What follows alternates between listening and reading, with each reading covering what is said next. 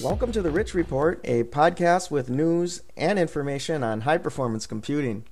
Today, my guest is from AMAX. We have Justin Quon.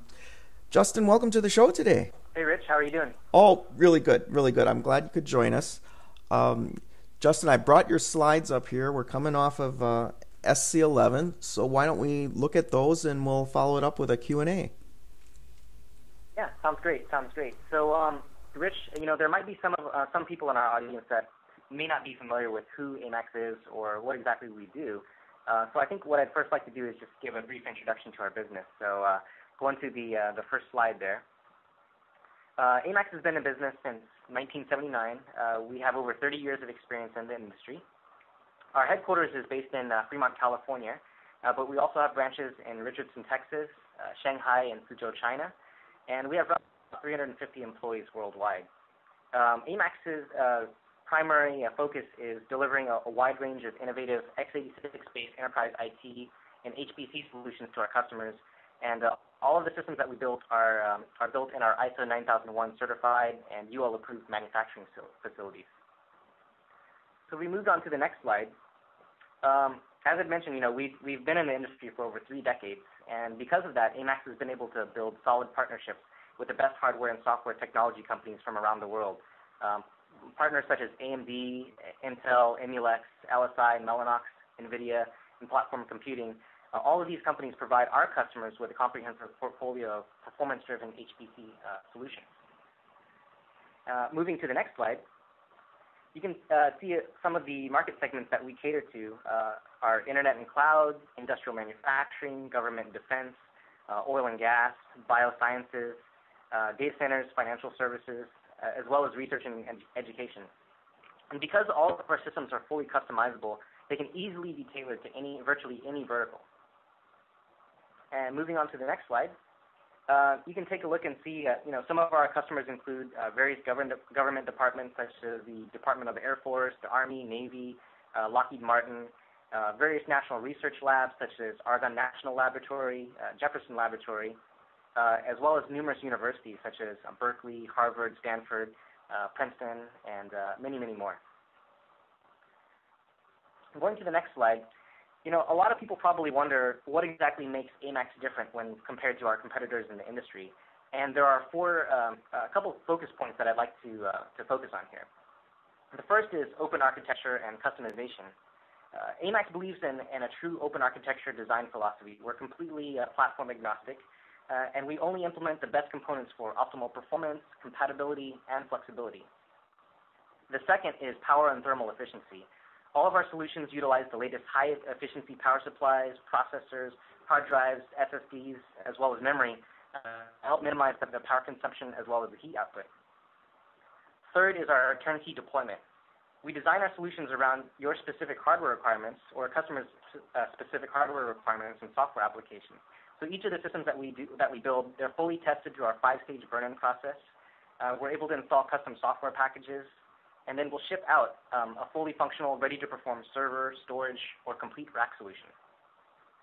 Now, this all ties into the last point, uh, which is uh, serviceability and management.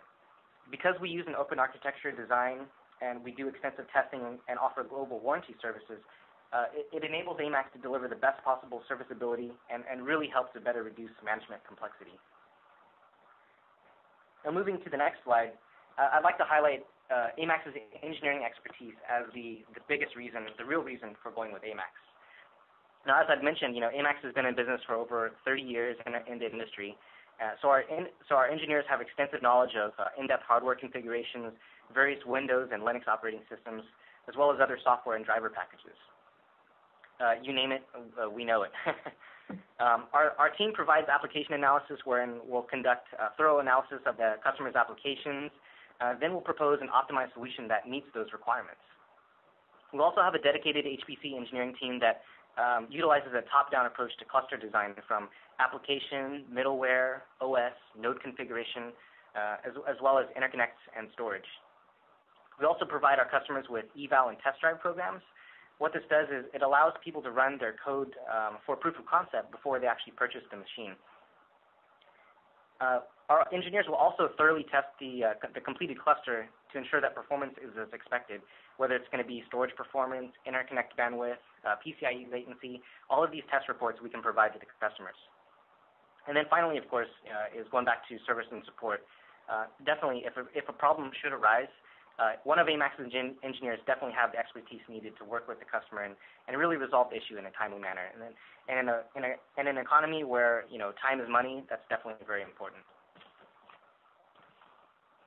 Now moving to the uh, next slide, um, this kind of leads us into the discussion about the various HPC platforms that we showcased at the Supercomputing 2011 show. Uh, so the, uh, the first slide into this will be uh, uh, discussing uh, AMAX's FAT data. That's PHAT data, and that stands for Petascale Hadoop Analytics Technology. Now, Hadoop is a relatively new means of parallel processing which is designed to manage and analyze enormous amounts of data, otherwise known as big data. And AMAX engineers have designed this highly scalable balanced Hadoop cluster configuration, which is designed to deliver superior data analysis performance without any type of limitations. The great thing is that scientific applications can take advantage of Hadoop and its transparent data replication features, data locality aware scheduling, uh, and fault tolerance capabilities, which is typically used in um, various applications like video and image analysis, uh, log processing, as well as uh, data warehousing. So the AMAX FAT data, it's, it's basically a, a complete turnkey solution uh, for Apache Hadoop, and it offers a highly scalable, tunable, and easy to deploy platform um, built with the ability to solve these big data acquisition, storage, and analysis problems. But Rich, what I'd like to point out here is, is with AMAX, it's not just about the hardware here. Um, you know, big data solutions using Hadoop consist of an ensemble of tools which require very, very pre precise tuning and, uh, and configuration for optimum efficiency and maximum performance. AMAX engineers understand this aspect in spades and uh, our engineers like to work with customers directly to help tune the cluster and application so that the guesswork is taken out of the equation. Going to the next slide, um, there were uh, there were two other forms of parallel computing that we displayed at the super, uh, supercomputing show this year, and they come in the form of NVIDIA GPUs as well as Intel mics, or short for mini integrated cores. Now, the HPC community is definitely aware of the massively parallel architecture and performance that NVIDIA's Tesla GPUs have brought to the supercomputer. Um, case in point, you know, we showed a brand new, not yet released uh, Intel Xeon E5 workstation, which is populated with four of the latest NVIDIA C2075 uh, GPUs. And those GPUs are capable of delivering up to 4.12 teraflops of performance. Now, that's an incredible amount of performance in a single workstation. What the HPC community is just beginning to learn about, though, is Intel's new parallel computing technology, uh, dubbed their Intel Mic, uh, which, as I mentioned, is, stands for Mini Integrated Cores. In its current uh, iteration, uh, right now, Mic is a PCIe add-on coprocessor uh, with roughly 50 or more smaller, lower power cores. Now, why that, while that might seem paltry when compared to NVIDIA's 448 or 512 cores with their GPUs, these Intel cores are completely different in architecture and can't really be compared uh, directly to NVIDIA's GPUs. And in fact, when you look at performance, Intel is targeting two or more teraflops of performance from a single microprocessor. And even better yet, users won't have to learn any type of new programming language uh, because the mic uh, utilizes the industry-accepted x86 programming model, uh, which is the exact same code base for Intel Xeon CPUs. So Intel is touting that uh, basically, with just a simple code change, you know, and you run it through their Intel compiler, that's all that's required to take immediate advantage of the mic architecture. I'm going to the next slide. Um, AMAX also showed uh, two next-generation processor technologies. Uh, one of them I, I just previously mentioned, uh, which is the Intel Xeon E5 family, uh, codenamed Intel Sandy Bridge. These CPUs are supposed to boast an average performance boost of roughly 1.57 times over the previous generation of Intel Xeon CPUs. Uh, they also come with Intel's next generation Turbo Boost technology. Uh, they enable uh, an advanced AVX instruction set for media encoding. And they also come with uh, up to eight cores, uh, which are available in uh, either single processor, dual processor, or quad processor designs. The second next generation processor that we showcased at SC11 was uh, comes from AMD's Opteron 6200 series, uh, codenamed Interlagos, or uh, that's built on their Bulldozer architecture. Now, these Interlagos CPUs, the 6200s, uh, they're, they're the world's first 16-core x86 processors, and they're, they're providing up to 33% more cores and delivering up to 35% greater performance. The 6200 series also features uh, AMD's uh, newest uh, turbo core technology, which is capable of boosting the cores an additional 500 megahertz or up to 1 gigahertz with uh, half the cores active. So both of these CPUs and their respective platforms, uh, right now AMAX has integrated them into our latest workstation servers as well as cluster product lines. So going to the next slide, AMAX also showcased a, a, few of our petabyte scalable storage building blocks. Um, the, the, first product is our multi-protocol SAN RAID array, and this is a, a unique hybrid SAN solution uh, with either dual port 8 gigabit uh, fiber channel or dual gigabit, um, I'm sorry, dual port 16 gigabit iSCSI support. So it supports either uh, fiber channel or iSCSI.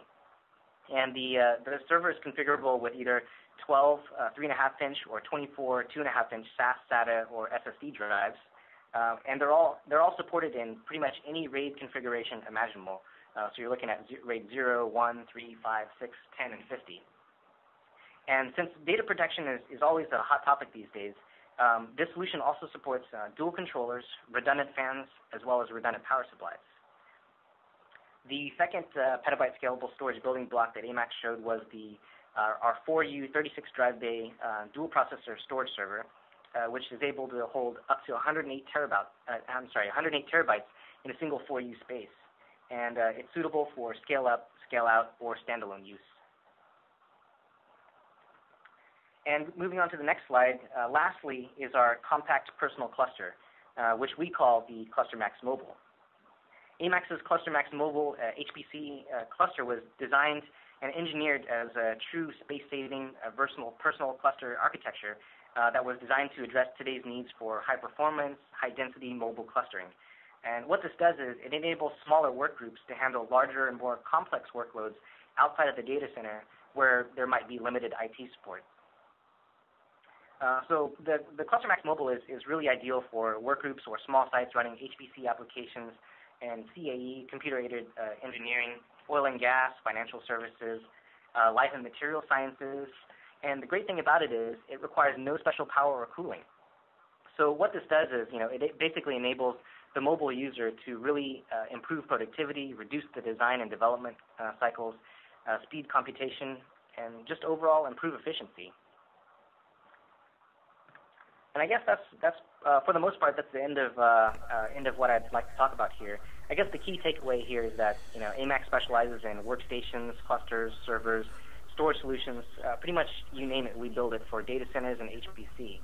Uh, AMAX is a dynamic engineering company with a strong manufacturing background, uh, leveraging deep partnerships with major industry players, uh, and it allows us to work really closely with our customers to design not only optimal solutions based on their needs, uh, but also to build and deploy the highest quality systems globally.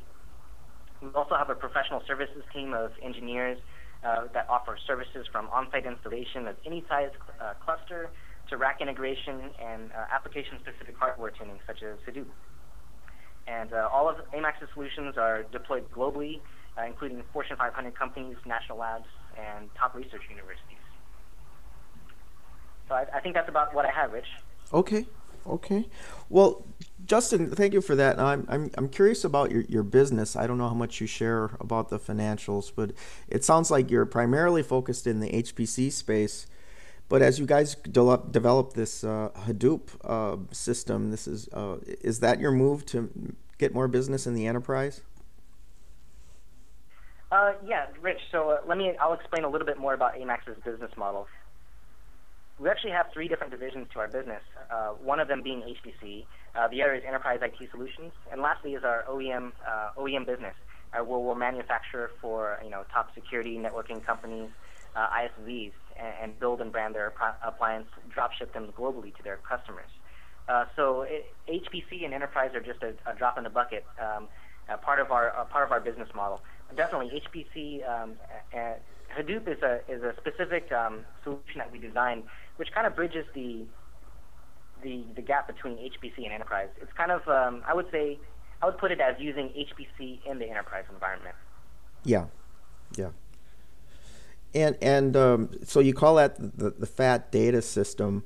Um, you know, when, when when you architected that, I mean, I, I I'm glad you brought up that it's an ensemble that needs to be configured, right? You don't just download Hadoop and and throw it up like a um, like a, like Beowulf or something and start computing, right? It's a it's a very at least it's been described to me as a very labor intensive kind of process. How does uh, Amax help with that? Very good question, Rich.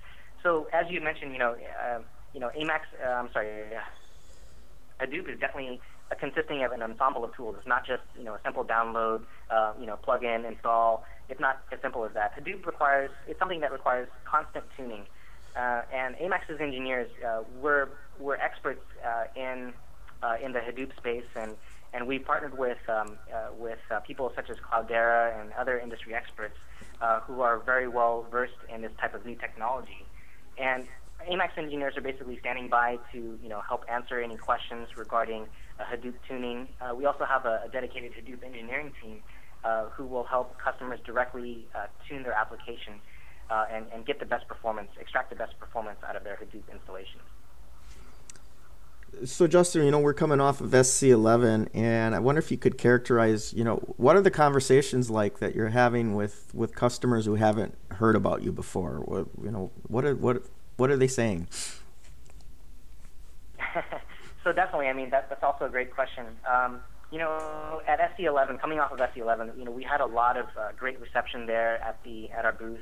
Um, we had a lot of customers who had never heard of Amax before and I think you know part of the reason for that is definitely because uh, our our background comes from OEM manufacturing, uh, where you know as I'd mentioned, you know we'll design, build, and deploy systems for a lot of um, um, ISVs in the market, and so people aren't really aware of of the AMAX name.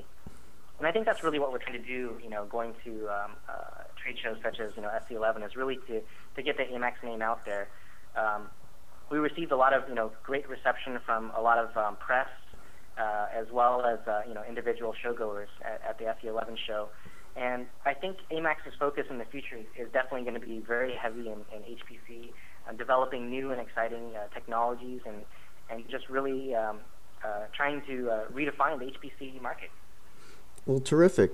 So, kind of a wrap up question here, Justin. We, we've come off SC11, the big HPC show. What's uh, coming around the corner for AMAX? You're gonna have to wait and see, Rich. You're gonna have to wait and see. But I can definitely tell you. Yeah. I can definitely tell you, though, AMAX has some very, very exciting uh, new solutions that we're going to be announcing uh, probably uh, in Q1 of next year. Uh, so definitely stay tuned, and and um, and you'll get you'll find out very shortly. Okay, that's a deal. Well, Justin, thanks a lot for uh, joining us on the show today. Thank you for having me. I appreciate it. Okay. All right, folks, that's it for the Rich Report. Stay tuned for more news and information on high performance computing.